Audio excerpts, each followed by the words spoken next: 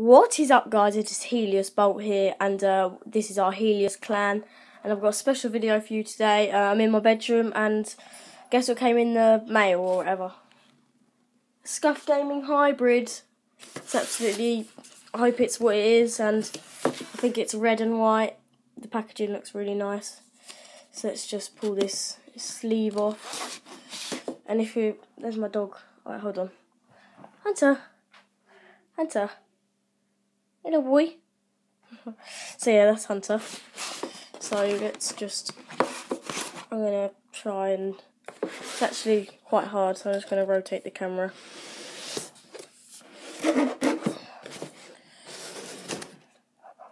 Right, there you go. I'm recording this on my iPod Touch 5.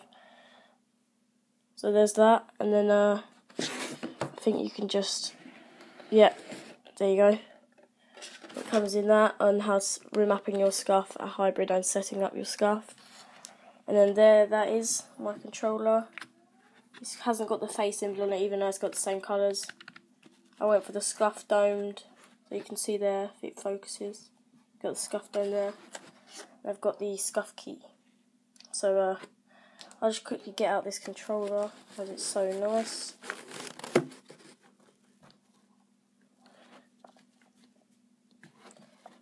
What are you doing? What are you doing? I think he's going for my chocolate croissants up there. No, Hunter. So here it is, all out. There. And I'll quickly uh, show you the back. There's my paddles. I didn't go for red paddles, and I've got the red pro grip and trigger start trigger stops. And listen to this click. This is just. Don't know if you can hear it, but How positive of a click is that? So I've already um I've already uh, had a look at this um on YouTube about how to do this. So I'm guessing where did I put my scuff key here? So I'm guessing I put this in.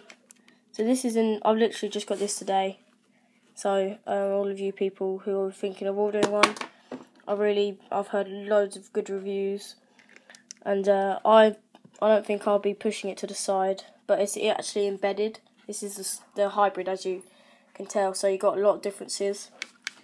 So here's all the trigger stops, and then there you've got the seal of approval there. So yeah, um, actually fits really nicely in your hands. Let me just show you one more time. So I've gone for the whiteout buttons with it's called the Scuff Red, Scuff Hybrid, Scuff Red Hybrid.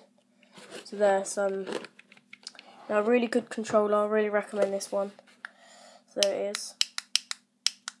They've actually uh, raised the edges so it's easier. So see here, my fingers just naturally go onto there like that.